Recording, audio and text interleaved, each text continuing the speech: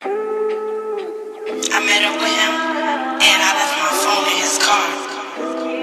And I did find my iPhone and I searched exactly where he was and I waited there to see